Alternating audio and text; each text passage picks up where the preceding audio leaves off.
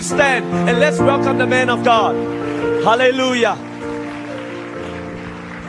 Let's clap our hands unto the Lord Jesus Christ. He alone is worthy. He inhabits, he lives in, he inhabits and lives in the praises of his people. I bless you, O Lord. You're the everlasting Father, the Prince of Peace, the lily of the valley, the great I am, the everlasting Father. There's nobody like Jesus. There's nobody like Jesus. He's still the same. He's the same yesterday, today, and forever. He is still the same. I, hallelujah. I've just got to tell you a little something that just happened. Uh, many of you have heard in America the storm that we had, Katrina and Rita followed her, two storms to hit, and we poor North Americans don't know how to handle crisis too well and uh, my son and I were some of the first to get into the New Orleans area.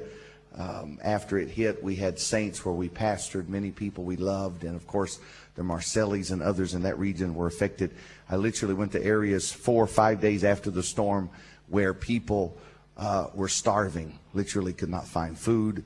It was amazing to see that in the United States. One of the men that was one of our staff pastors when I was senior pastor, he was our worship pastor in the last two years I was there, the Lord called him to take a church in Mississippi. It was in a little town called Poplarville, Mississippi. It's uh, you probably never heard of it, but it was on the news a lot. It's one of the first places that George Bush showed up to after the storm because it was almost completely devastated. Brother Bill Davison was pastor in that church. Now I've been preaching a lot about what Jesus has done and what he can do, but I just feel like talking about what he is doing right now. Bible says he is the same yesterday, today, and forever. And I, I told a I, I told a story years ago, and I, I confirmed it, and I've preached it. I don't know if I preached it here, but I've preached it about everywhere. About one of our African pastors when during 1985, the African country of Ghana was in a severe famine, and I went there to preach a conference. Now, some of you looking at me, I know I look real young. Everybody say, Brother Suber, you look so young. You're so handsome. I appreciate that. Yeah, I, I know I'm in denial, but I appreciate that. because February the 12th, I will have been preaching 24 years. February the 12th. But in 1985, we went to Ghana and they told me about a pastor and he come up to me there was this little pastor his bible looked like it was half in empty. And he was taking his bible and he was literally shaking his bible in my face and he was talking in a dialect i couldn't understand what he was saying. And one of the elders came over and began to interpret this is the man i'd heard about. And i may have told you the story how that in the famine his people were starving and the witch doctor challenged him and said let's decide whose god is god and he was praying and the Holy Spirit spoke to him and said, I'm the bread of life. And so he took a page of the Bible and tore it out and put it in a pan, put the pan in the oven. And when they took the pan out of the oven, it was bread.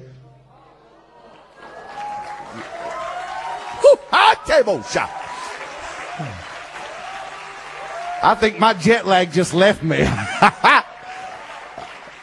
and and I, I, met him and he said, I think it happened about six months. He began to take pages out of his Bible. They would tear one page out and then they would tear the page in pieces and give it to different families and they would take and put it in the pan and his entire church ate on the word of the Lord. Oh, hallelujah. But, but that's Africa and miracles always happen in Africa. Almost everything I hear, every revival, everybody says the Philippines or Africa. Well, I don't mind them having miracles, but I like to have them other places too. So, so I preach that. But you know, sometimes when you're a faith preacher, I guess I'm a faith preacher. When you preach and tell testimonies and stuff, these people just don't believe you. They just look at you like, oh yeah, you just telling stories. You just get paid to make up stories.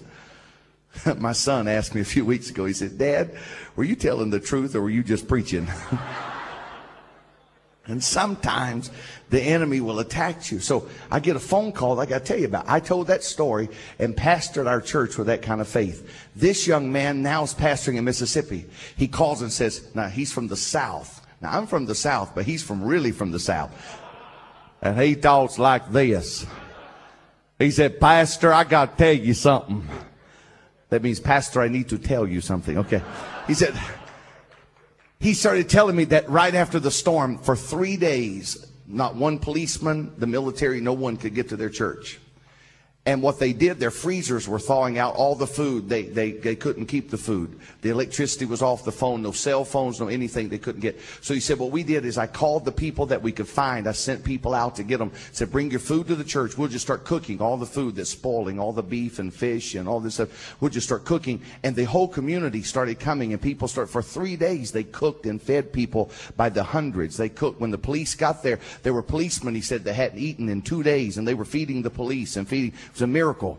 But at the end of the third day, he said about midnight, they hadn't heard from anybody. I couldn't get a hold of them. He, did, he said, I didn't know if the rapture had come. I didn't know if people were dead or alive. I didn't know what happened. So he said, I went to the back of the church and he had a gas can. And he said, I poured the last of the gas in the generator.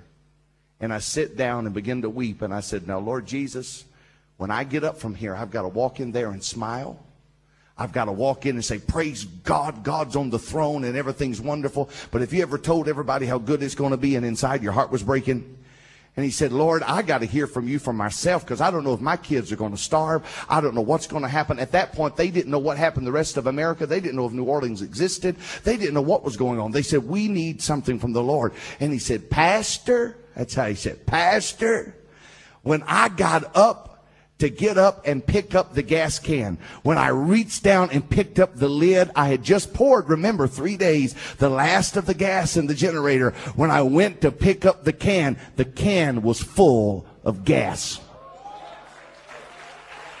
Oh, I feel like running and dancing and leaping. See, if he can turn water into wine, he can turn the Bible into bread. But if he can do that in Africa, he can take an empty container and can put gas in it because he's the same yesterday, today, and forever. There's things like that happening all over the world, and you ought to give God praise about it. I don't know what you're going through, but he's able to make a way where there seemeth to be no way. Hallelujah! Oh, let's rejoice one more time in the Lord. I bless the name of Jesus. I bless the name of Jesus. Hallelujah.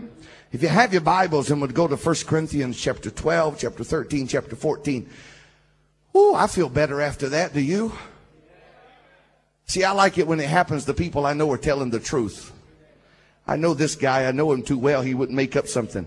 And revival has broke out in their church. And during that crisis, they baptized 34 people in Jesus' name.